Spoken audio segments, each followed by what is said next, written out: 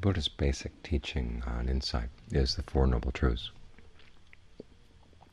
We tend to lose sight of that fact.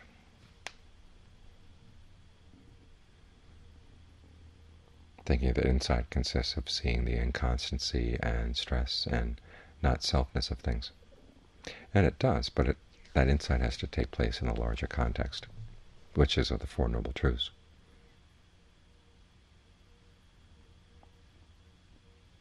Which come down to cause and effect, skillful and unskillful. The things you do that lead to suffering and the things you can do that lead to the end of suffering. The doing there is important because we shape our experience much more than we might imagine.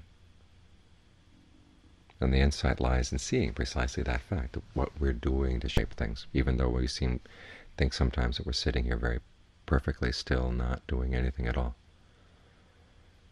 There's an undercurrent of sankhara, or fashioning, that goes on in the mind all the time.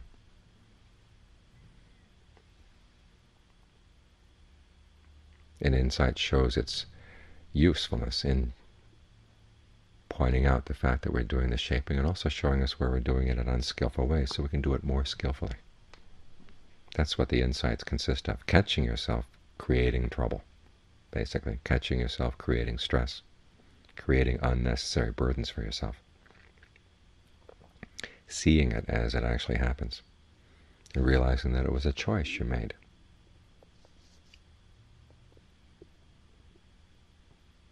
I think it was Ajaan Fuang once time said that basic insight comes down to seeing your own stupidity. Something that you're doing. You don't have to do it, but you're creating suffering for yourself. Not only that, for the people around you. And you keep on doing it again and again and again. That's the definition of stupidity. We don't like to think of ourselves as being stupid, but we are. And it's when you finally develop the equanimity to admit that fact, step back from your stupidity, and learn how to unlearn it, all those actions. That's what insight is, and that's how it shows its benefits. And teaching you to fashion things in a new way, a better way, so that your participation in shaping your experience, your participation in the world all around you, gets more and more skillful. If it didn't show itself in these ways, then the insight wouldn't really be worth much. There are lots of teachings about emptiness and inconstancy or impermanence that are wide of the mark, and it's nice to know, and it's interesting to reflect on these things and speculate about them. But if they don't make any difference in what you're actually doing from moment to moment, they're pretty useless. This is why the Buddha avoided so many issues that everybody else in his time was worked up about. Is the body the same as the life force? Is the body different from the life force? Is the world eternal? Is it not eternal? Is it finite? Is it infinite? When a person reaches the end of the path, does that person exist, not exist, both, neither? These are questions that were the hot issues, the hot philosophical issues of the day, and the Buddha refused to answer those questions, get involved in them at all, because they didn't make any difference in this one issue of what are you doing that's skillful and unskillful. And can you learn to be more skillful than you are? A layperson who was a student of the Buddhist was approached one time by someone who asked just these questions. What does your teacher teach? Does he teach that the world is finite or infinite? And the person said, well, no. Eternal, not eternal. Well, he doesn't address that issue either. and So on down the list. And the person complained, well, your teacher doesn't seem to teach anything at all. And the person said, that's not the case. He teaches what's skillful and what's unskillful. Remember that, of the most basic issue that the Buddha does address, and he addresses that issue in a lot of detail. If meditating were simply an issue of trying to get very still in the present moment, how do you think all those Dharma teachings would have been uh, developed? All this what they call the 84,000 divisions of the Dharma in the canon. They came from someone who was really focused on the issue of skill and lack of skill and trying to develop more ways of skillful ways of approaching everything in life. This is how your daily practice intersects with your meditation practice. Just try to be more skillful in what you say, be more skillful in what you do. Develop that habit of being very clear about what your intentions are, clear about what your actions are, and about the results. When you develop that attitude, and then you bring it into the meditation, you start seeing things in your meditation that you didn't see before. And at the same time, as you develop in your meditation, you get more sensitive to your actions outside as well. So in this way, the, your practice with your eyes closed and your practice out dealing with other people becomes more of a whole. Tackling the issue of skillfulness on all fronts. Try to make that the thread that connects everything you're doing as you practice. This is the thread that turns daily life into really a practice of daily life, the practice of daily life, where your intersection with other people, your interaction with other people does become part of your practice. The work you do becomes part of your practice. Everything you do and say and think can become part of your practice this way if you approach it from the issue of what's skillful here, what's not skillful here, what choices do I have. taking advantage of the freedom that every moment offers to make the best choice possible. When issues come up in daily life, try to approach them as this kind of challenge. When issues like lust or anger or fear arise in the mind, those are opportunities to approach these problems in a skillful way. All too often we, we're afraid of fear, we're angry about our anger, lustful about our lust. In other words, we take our these unskillful mental states and we approach them in unskillful ways, which just compounds the problem. So the issue learns is in learning how to be, how not to be lustful for your lust, how not to be angry about your anger, how not to be afraid of your fear. And that way you can deal with these issues a lot more skillfully. when anger arises. Many times we've heard, and it's constantly repeated, that the antidote for anger is metta, or goodwill. It's interesting, though, to look in the in the canon to see what the Buddha says about anger. The closest he comes to that is when he talks about the sublime attitudes as antidotes to anger. In other words, it's not just metta. You want to develop the other qualities too. And the one that he seems to develop most in different passages in in the canon is equanimity. Equanimity mean, meaning stepping back from the situation, seeing it as a universal pattern and not just a personal issue between you and the person you're angry about. One of the traditional ways of developing equanimity is to contemplate the principle of karma, that what you do is important, and particularly in the situation in which you find yourself. The issue is not so much what the other person is doing, but what you're doing. Focus on that if you let yourself get worked up about what the other person is doing, how often they've done that, how many times it's come back again and again and again, if you carry that around, it makes it more and more difficult for you to deal with what you're coming up with in the present moment. So drop that thinking about what the person has been doing and turn around and look at what you're doing. It's useful to divide the anger into three parts. One is the, the object of the anger. Second is the anger itself as a mental state, and then there's the physical manifestations of anger.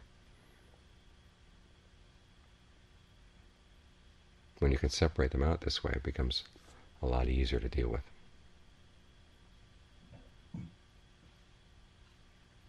So to separate the anger itself from the object of anger, you step back and think in terms of equanimity. Another way the Buddha has is just, just looking at the universality of this pro- the process. He talks about dividing reasons for being angry. He sets them out in a kind of a chart. One way of one reason for being angry, or one's chart is that this person has done something to me that I don't like, or this person has done something that I don't don't like to people that I love, or this person has done nice things to people I don't like. And in each case, you're supposed to reflect, well, what should I expect? And this is the way of the world. That question, what should I expect, asked with that tone of voice, is meant to pull you back a little bit, to start seeing the situation in a, in a larger context. Then you go on to, this person is doing something to me that I don't like. This person is doing something I don't like to people I like. This person is doing something likable for the people I don't like. In other words, you bring it into the present tense. And again, it's what should I expect? In the next three sets is putting into the future. This person is going to do something to me that I won't like. So on down the line. And it's when you stop and think about that, just that simple act of stepping back from the situation and putting into a framework like that can help give you some perspective. In other words, you reflect on the ways of the world. There are ups and downs in the world. And a lot of wisdom lies in simply that fact of being able to step back.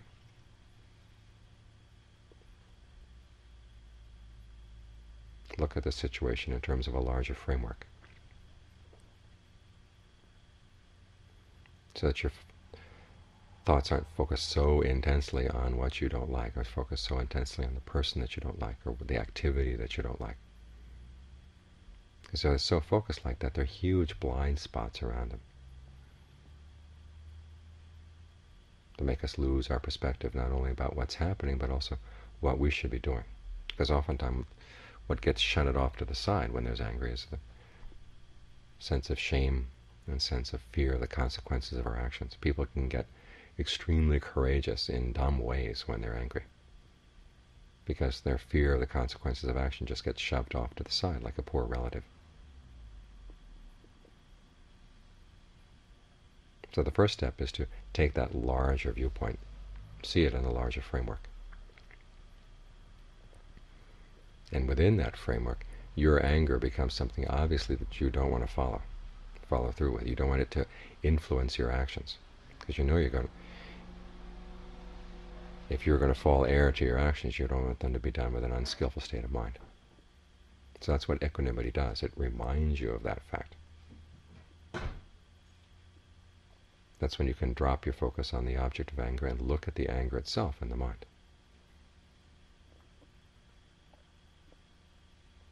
The problem is complicated by the fact that there's also usually a physical reaction. When anger bursts into the mind, it really sets your bloodstream churning. All these hormones start coming out in your bloodstream. Your heart beats in a different way. You breathe in a different way. There's a sense of tension and discomfort in the body. And our immediate reaction is we'd like to get that out of our system. If we try to get it out of our system in the usual way, which is speaking under the force of the anger, that just compounds the problem.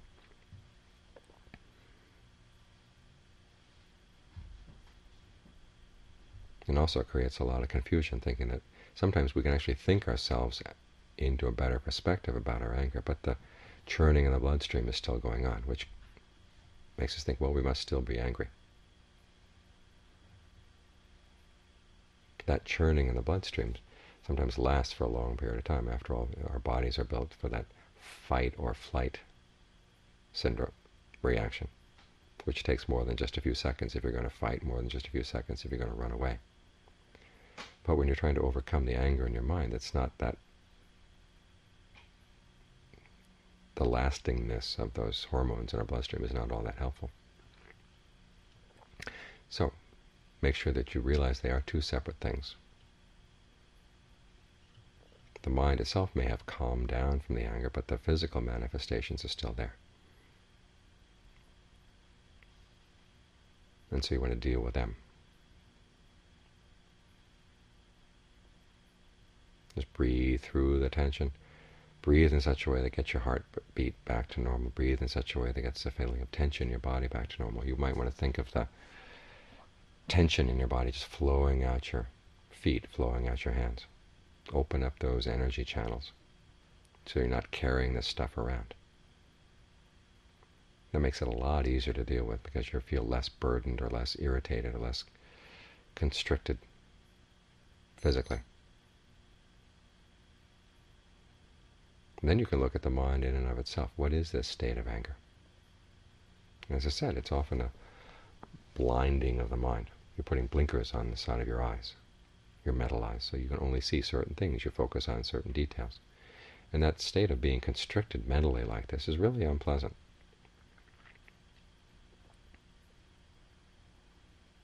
And just simply the fact of looking at it helps take off some of those blinkers. You don't have to be afraid of it. Just say, well, what is this state here? What is it like to be angry? Here's an example.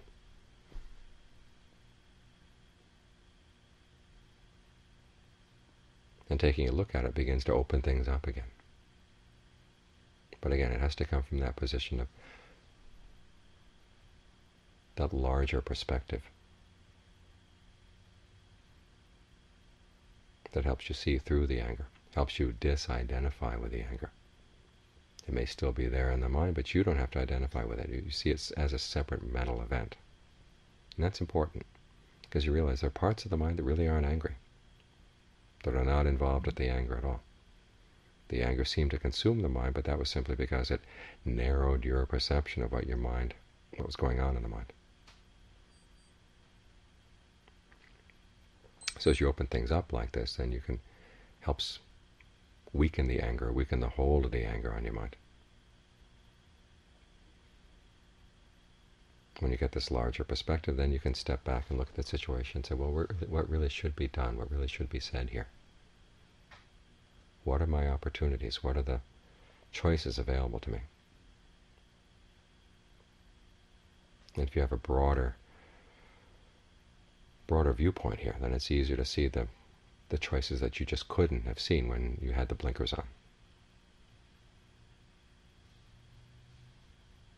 And you can see what, what really would be appropriate. What if you say that thing that you feel so much like saying? What would be the results of that?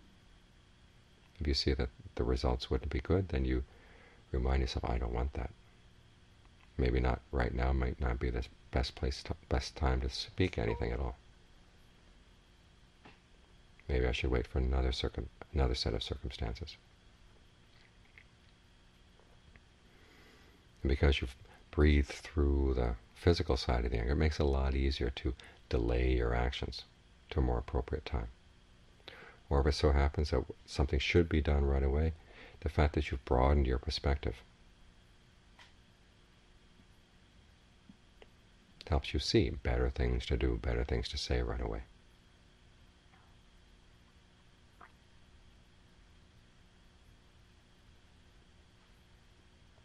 So remember this as an appropriate antidote to a normal way of re reacting to anger. So often when we're angry, we're either angry at the person we're angry at, or we turn around and get angry at ourselves for the anger, which neither of which really is very helpful. If you step back and look at the situation, it helps see the actions of that other person in context. After all, this is the way the world is. When we talk about the limitations of the world, sometimes it seems very confining and very depressing, but it's actually a liberating teaching. There's no way you're going to make the world perfect.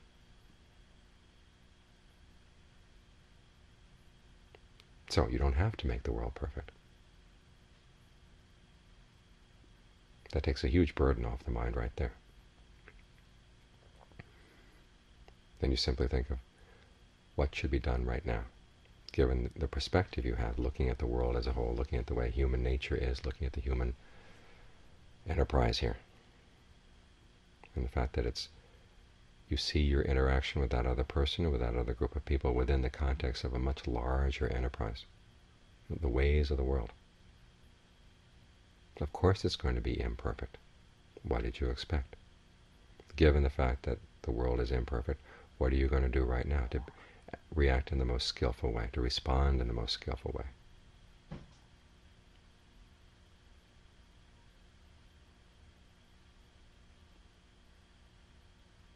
In this way you find that the lessons from the meditation, this quest for skillfulness, it's precisely this lesson that translates best into daily life. As you deal with anger, as you deal with lust, as you deal with fear, as you deal with all the imperfect situations in the world.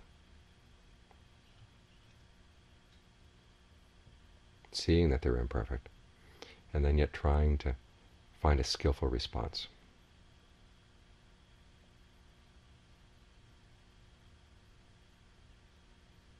This quest for skillfulness requires that you use your imagination. That's what that larger perspective is for. It opens up more possibilities to your imagination. So that your old habits don't form ruts that you can never get out of. You think of different ways of responding, different unexpected ways of responding.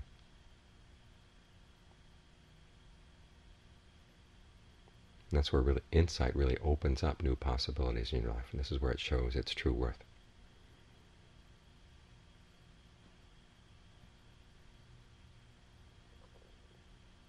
The ability to see the mind minutely is an important insight only if it really influences the way you act and speak and think to make it more skillful. So keep that perspective in mind. Keep that quest in mind as well, the quest for skillfulness. So that your actions really do fall into the path to the end of suffering and don't keep falling back into that old pattern that leads to more and more suffering again and again and again.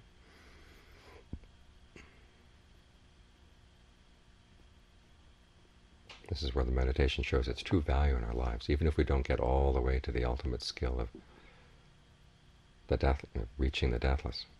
Still, the fact that we've trained ourselves to be more and more skillful leads us in that direction, inclines the mind in that direction. If we don't make it in this lifetime, well, the next time around we'll be heading in that direction. It becomes a momentum that we build up.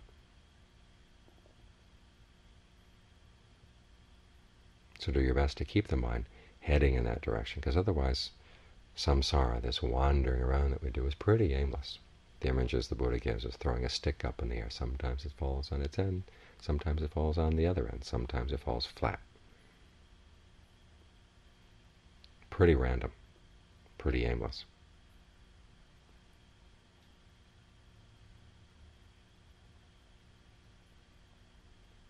Try to turn your life less into a stick thrown up into in the air, into an arrow, heading in a particular direction, towards a direction of more and more skillfulness.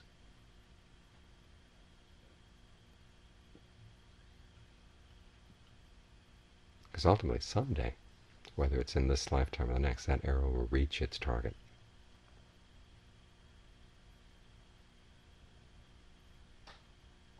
But only if you focus on this issue of skillfulness right here, right now, and keep it right here, right now, every right here and right now.